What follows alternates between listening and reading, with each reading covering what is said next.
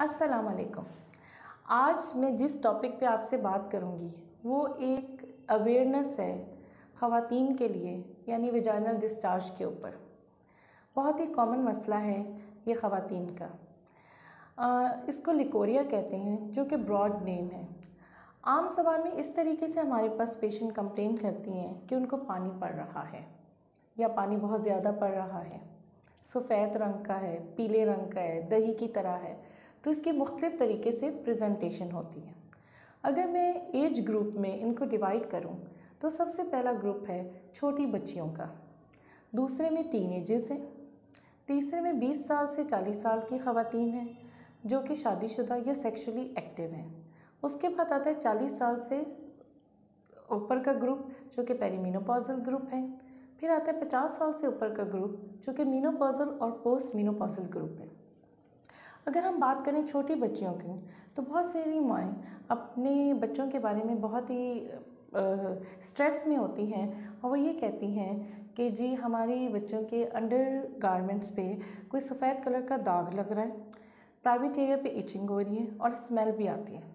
तो उनको ये कहना है कि वो अपने बच्चों का ख्याल रखें, उनकी सफ़ाई का ख्याल रखें उनके अंडर गारमेंट्स को चेंज करते रहें और साथ में उनको गंदी जगह पे क्रॉल ना करने दें।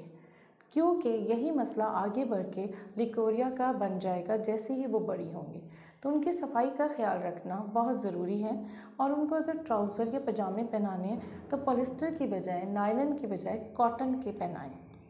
इसके बाद नेक्स्ट ग्रुप है टीन ये बहुत ही लिकोरिया इस ग्रुप में कॉमन है और ज़्यादा होता है। इस ग्रुप में एक मसला ये है कि इन बच्चियों को कमर में दर्द मेंस्ट्रुअल इरेगुलरिटीज़ के बहुत सारे प्रॉब्लम होते हैं और वो इसको भी लिकोरिया के साथ कोरिलेट कर लेती हैं और उसका ज़िम्मेदार भी लिकोरिया पे डाल देती हैं। ऐसा नहीं है। इसकी वजूहत कुछ और ज़रूर होंगी, या तो अनिमिक होंगी, या उनकी अपनी हेल्थ हाइजीन बिल्कुल ठीक नहीं होगी। तो उन्हें चाहिए कि अपनी हेल्थ हाइजीन को इम्प्रूव करें। ठीक है, अपने आप को एनीमिक होने से बचा के रखें। और दूसरी बात यह है कि वो अपने undergarment frequency frequent change करें। और साथ में जब भी उनका मेंसेस आएँ, वो चार से छः घंटे के बाद अपने पैड को चेंज करें, बेशक वो सोप हो या ना हो। तो नेक्स्ट ग्रुप आता है बीस से चालीस साल का, जो कि सेक्सुअली एक्टिव हैं, ठीक है? और मैरिड ग्रुप में। इसमें लिकोरिया के चांसेस बहुत ज़्यादा होते हैं। उसकी वजह इन्फेक्शन होती है। इन्फेक्शन बैक्टीरियल भी हो सकता है वायरल भी हो सकता है और फंगल भी। और ये बहुत ही कॉमन है, क्योंकि इसमें शादीशुदा जोड़े जब आपस में मिलते हैं तो उसमें वो अपने पार्टनर से वो इन्फेक्शन ले सकते हैं। और वह इन्फेक्शन फिर बढ़ता चला जाता है और उसमें फिर इन्फेक्शन की नोयत भी मुख्तलिफ़ तरह की होती है। जैसे कि मैंने आपको बताया कि वह बैक्टीरियल भी हो सकता है वायरल भी हो सकता है और फंगल भी हो सकता है। इसीलिए बहुत ज़रूरी है कि वो अपनी सफ़ाई का ख्याल रखें। ऐसा कोई भी प्रॉब्लम हो तो वो फ़ौर डॉक्टर से रजू करें ताकि डॉक्टर उनके डिस्चार्ज को देखते हुए उनको ट्रीट कर सके। खुद से कोई इलाज या खुद से कोई भी क्रीम या खुद से कोई भी दवाई इस्तेमाल नहीं करनी।